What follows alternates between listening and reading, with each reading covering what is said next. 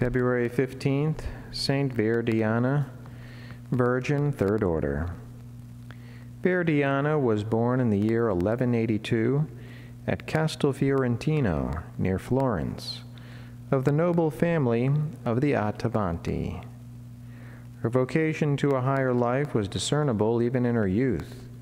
She loved seclusion, prayer, and works of penance. As she advanced in years, she grew in grace and her innocence and virtue won for her the love and veneration of everyone with whom she came in contact.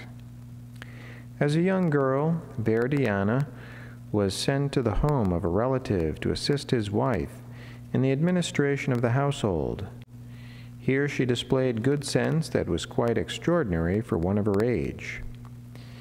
She also utilized every opportunity to practice works of charity. Once, in a famine, she distributed to the poor a great quantity of beans from the storerooms, not knowing that they had already been sold by her uncle. When the buyer arrived to get them, and the bins were found empty, her uncle reproached her bitterly. Verdiana, deeply grieved, prayed all night long, and lo, in the morning the bins of the storeroom were again filled to the brim. The news of this miracle spread far and wide, and in order to avoid the marks of respect that were being shown her on all sides, she undertook a pilgrimage to Compostela in Spain, to the grave of St. James the Apostle, and later also to the tombs of the apostles in Rome. Upon her return home, Verdiana had an anchorage built hard by the chapel of St. Anthony in Florence. The cell is preserved to this day.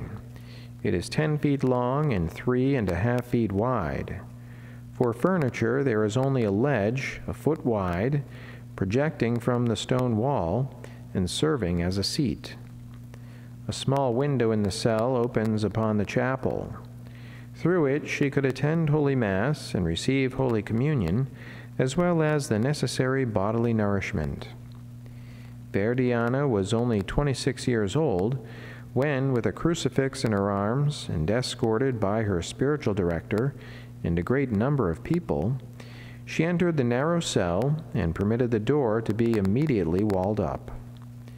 In this voluntary retirement, she spent the remaining 34 years of her life as an anchoress in prayer and severe penance. In summer, her bed was the bare earth, in winter, she lay on a board with a block of wood serving as a pillow. Her food consisted of bread and water and herbs. Her only living associates were two large snakes which crept in and out of her cell, with whom she shared her food and her dwelling in the spirit of penance for many years. About the year 1222, when St. Francis was preaching penance, in the vicinity of Florence, he also went to visit the poor anchoress, gave her the habit of the third order, and many beautiful lessons on the proper way to live a contemplative life. After a very saintly life in which she had been granted the gift of miracles, Verdiana was also privileged with the revelation concerning the hour of her death. She prepared herself with the devout reception of the holy sacraments, while praying the penitential psalms, she died on February 1st, 1242, being 60 years old.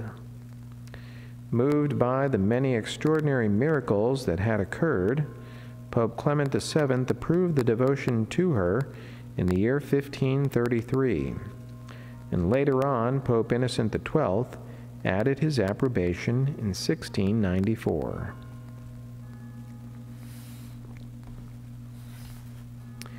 On the contemplative life. Consider that Saint Verdiana, after several years spent in a devout active life, was led by divine inspiration to devote herself entirely to a life of contemplation. Perfect contemplation cannot be enjoyed by man until he has entered heaven, where the sole happiness of the blessed consists in beholding God.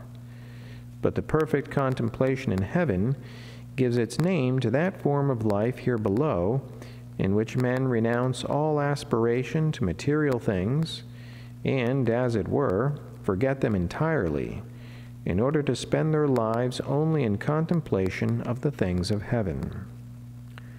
Only souls that have been specially called by God can pursue this kind of severe penance, can pursue this kind of life. A previous holy life, as in the case of our anchoress, or severe penance and complete contempt for material comforts, are usually signs of such a vocation. What high esteem we owe a life so heavenly spent here on earth.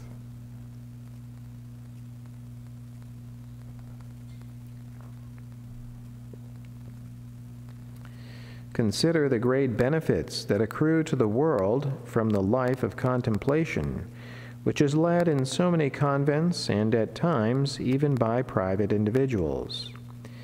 It is for souls of that kind that Almighty God was ready to spare Sodom if even no more than ten of them could be found.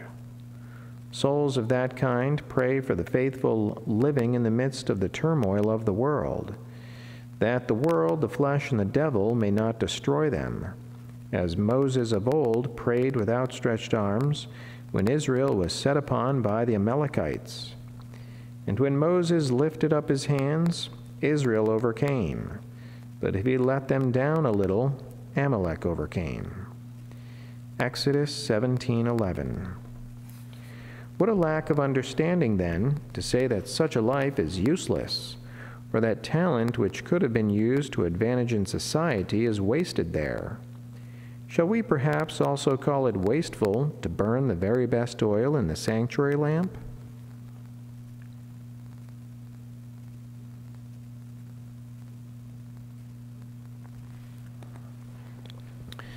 Consider that we are all destined to lead the life of contemplation, inasmuch as it is the only kind of life that is led in heaven.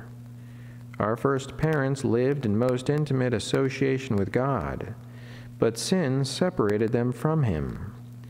They themselves realized that they were no longer worthy to behold Him, and they hid themselves from His sight. Our hearts are, so to say, encrusted with personal sins and evil habits, so that even if we keep ourselves free from mortal sin, we are not capable of permanent intimate association with God.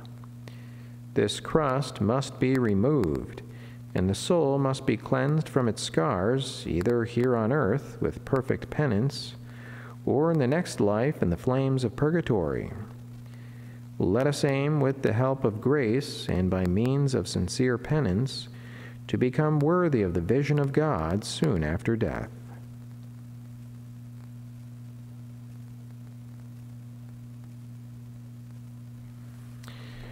Prayer of the Church. O God, who didst unite in thy servant Viridiana extraordinary fruits of penance with the flower of virginity, grant us, we beseech thee, that we may, through her merits and intercession, cleanse our souls with tears of repentance, and thus purified, deserve to be admitted into thy presence. Through Christ our Lord. Amen. Saint Veridiana, pray for us.